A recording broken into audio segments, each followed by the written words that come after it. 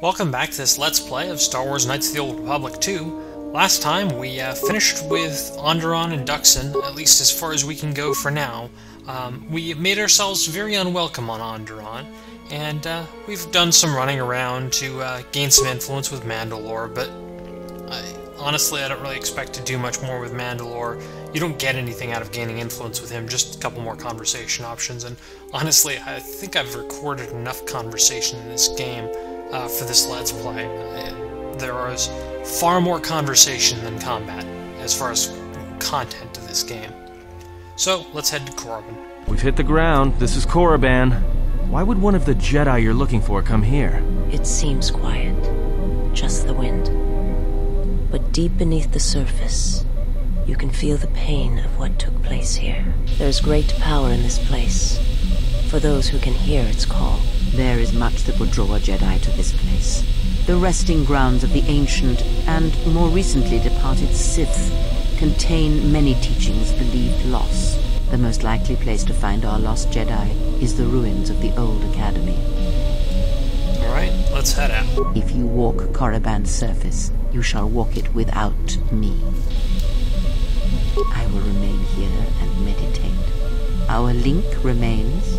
I shall contact you and provide guidance when needed. The academy is on the other side of this valley. Be careful. Dark energy fills these ruins, and even the fallen Sith live still. This area is actually a little bit boring. Um, honestly, if there's a, a weakest area in Knights of the Old Republic 2, it's this one. It's fairly short, fortunately. Now, I can't take Kreia, she's usually part of my party. For variety, I'm going to pull some pull along some people I haven't been using very much of, uh, Disciple and Visas.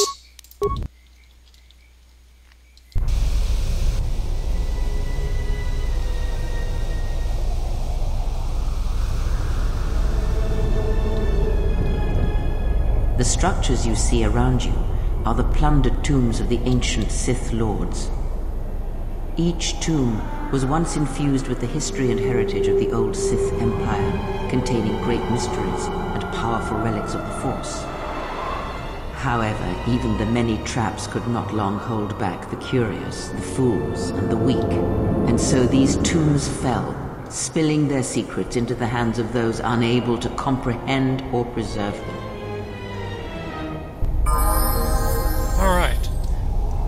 Off-screen gain my levels on my party members. I don't actually have anyone in this party setup that has decent demolition skill. I'm not going to worry about it. I think I have enough, actually, from just stat bonus item, uh, skill bonus items to do it myself, even though I only have one point in the actual skill. Anyway, when you uh, pick up one of these corpses... The broken corpses before you are all that remain of the Sith on Korriban. I doubt there is much to be gained from looting these bodies. It would be best to leave them be. Well, we're not going to follow that advice. Crits. You've disturbed the spirits of this place, and they have sent their guardians. Hssiss are semi-intelligent beasts, corrupted and strengthened by prolonged exposure to the dark side. As creatures of the Force, they have a limited ability to mask their presence. Hssiss are drawn to suffering and carnage. They must have fed on all the corpses left over from the war here on Korriban. The angry phantoms of the Sith, too weak to influence the sentient, have taken these hssiss as thralls to their will. Anyway, they're XP as far as I'm concerned.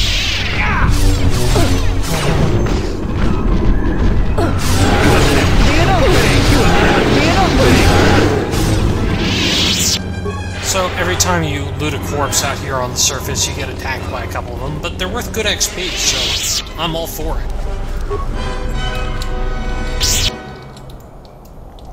You have left me an opening! You have left me an opening! You have left me an opening! Maybe there's a reason I left Disciple out of the party. You have left me an opening. You have left me an opening. It's rolled real fast.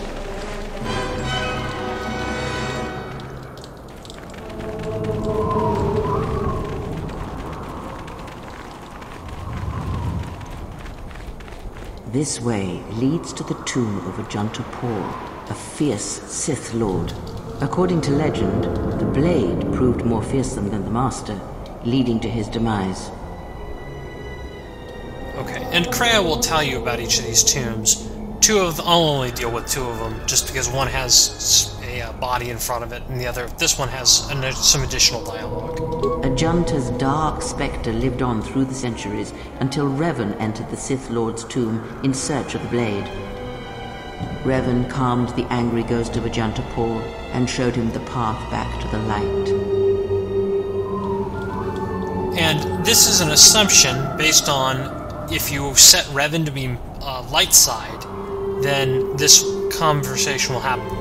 If Revan is dark side, through you know your conversations with Atton very early in the game, then uh, this conversation will not happen. If you have awareness, you can point out that Kreia sounds like she disapproves. One who has fallen so far and done so much evil does not deserve redemption. In a way, such a turning from one's nature is cowardly, a betrayal of the self.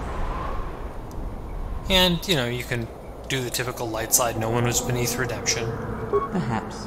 But redemption is a form of spiritual collapse, a fall few recover from. And you get some light side points. If you actually needed influence with Kreia, you get a little bit of it maximum influence with Kreia for a long time, so. Before you is the tomb of the great Sith Lord, Marka Ragnos, a half-breed who possessed tremendous strength, both physically and in the Force.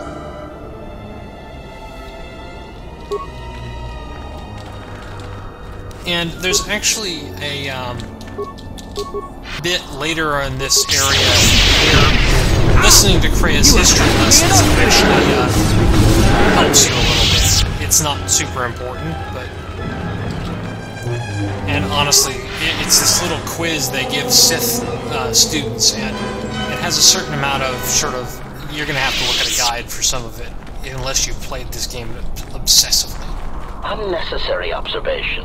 Targets acquired. Annoying recitation. Let us proceed to facilitate communications. Recitation. And bring about the termination of hostilities. I don't think... There might be one more group of these but...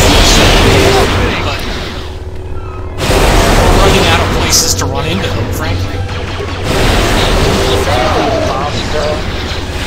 You have left me an opening! Failing, Master. And, you know, while we're all set up and still in combat, we'll uh, summon another set of Siths. You have left me an opening! You have left me an opening!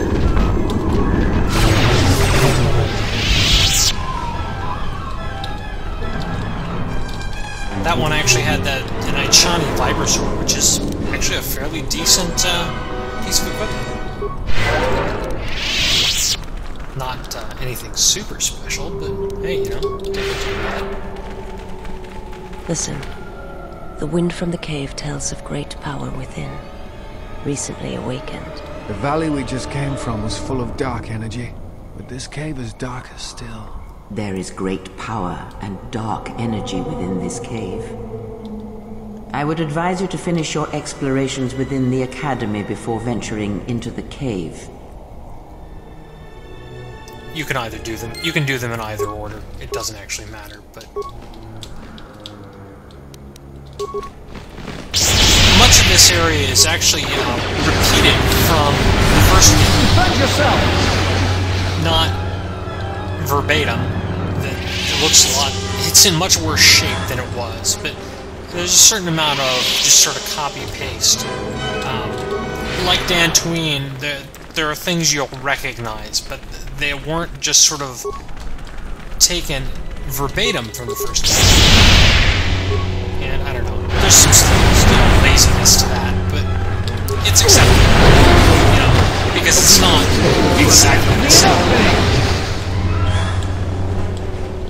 And there's enough new content, so it's not like they just copy-pasted the entire thing.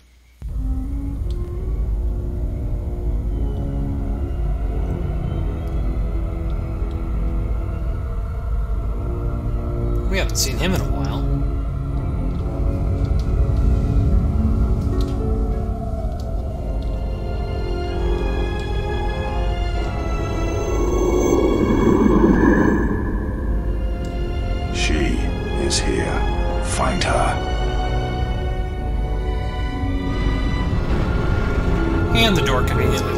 behind us.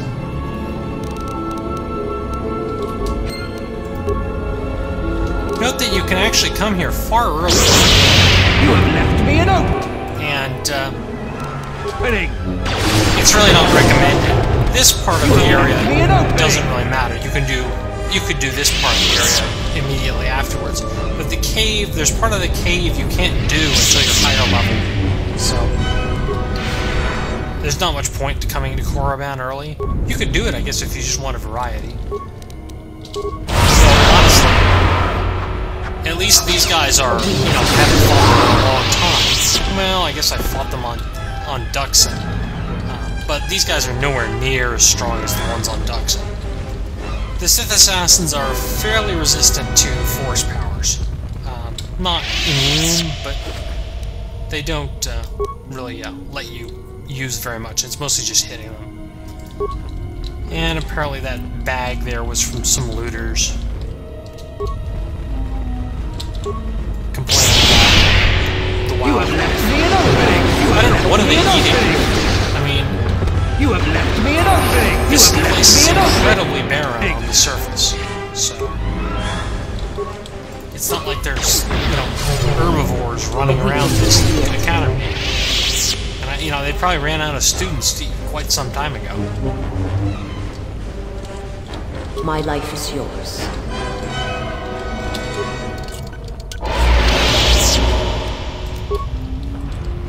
I've been giving Visas the uh, security skill just for things like this. So if I have an area where I don't, where I think I've got demolitions covered, I can at least uh, have somebody with Me an opening.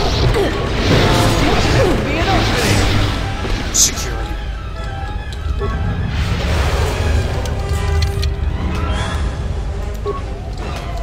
Freyyr's Warblade. Freyr is a, a uh, Wookiee from the first game. So there's a bunch of items in this game which are essentially shout-outs to uh, the um,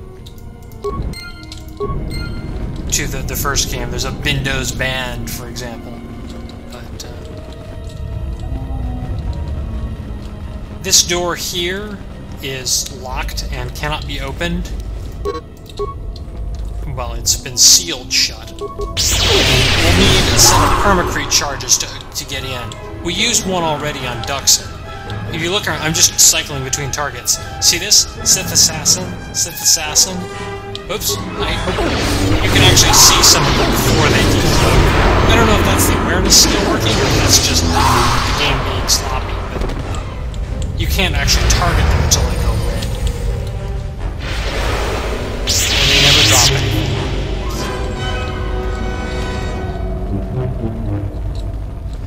That data pad we found just a little while ago, there was one that was essentially talking about the sealed door, and there's one that was talking about the uh, students here at the academy, and it says apparently in the the uh, closing days of the academy, they ran out of instructors, and it's mostly just sort of do it yourself, um, read the books, and uh, take the tests. So we're going to have to create a new user ID and uh, learn how to be a Sith. But we'll have to wait until next time to do that.